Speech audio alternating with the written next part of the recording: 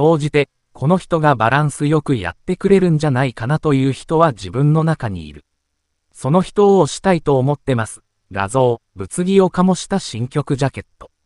パープル、ダメを引く先の都知事選の開催期間中、そんな風に自身の推し候補の存在を匂わせ、議論を呼んでいた人気ロックバンド、ワンオクロックのボーカルタカ。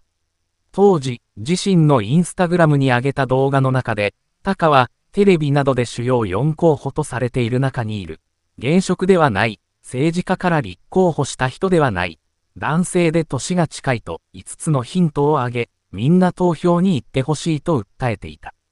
タカさんが動画を公開すると、X 上で、タカの推しは誰？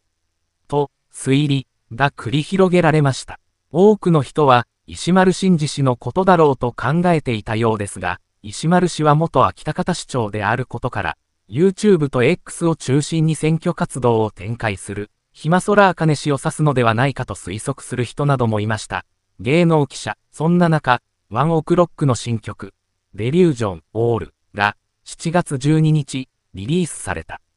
同曲は同日に公開された映画、キングダム大将軍の帰還の主題歌でもあるのだが、今度はそのジャケット写真が波紋を呼んでいる。ワイシャツの袖をまくり上げたタカが、テープでぐるぐる巻きにした複数のマイクを手に、左手を天に掲げる姿は、まるで街頭演説を彷彿とさせるもの。モノクロを基調にしていますが、ロゴやグラフィック部分に使われているのは紫の意識だけ。紫といえば、石丸真二氏のイメージカラーだったことから、高野推し候補は、やっぱり石丸だったのかと考えた人が多いようです。同前、また石丸氏は、6月15日、リハック級リハックの YouTube チャンネルに出演し、暇空あかね氏とリモート対談を行った際、キングダムのファンであることを公言。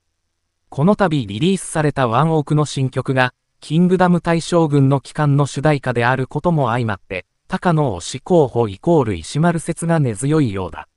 実際に X 上では、結局ワンオークは石丸支持者だったんやね。紫にも色々あると思うんだけど、石丸さんが使ってる紫と完全にトーンが一致してる、ワンオーク。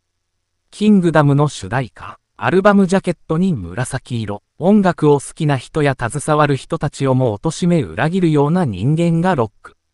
吐き気する、など、様々な意見が寄せられ、物議を醸している。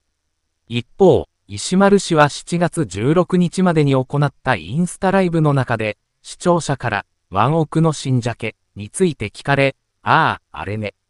皆さんの気持ちはわからなくもないんですけど、ワンオクの高さんご自身も言い切ってないわけじゃないですか。そしたら、そこは余白で、余白を楽しめばいいんじゃないですか、などと語った。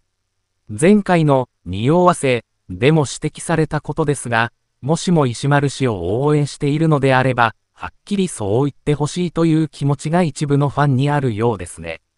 例えば現在進んでいる米国大統領選では、どちらを支持しているか明言するアーティストは非常に多いです。もちろん、それで応援できなくなる人も出てくるでしょうが、それならそれで構わないという姿勢です。タカさんにもはっきりして欲しい人が出てくるのは仕方がないでしょう。芸能記者、余白を楽しむ余裕はないみたい。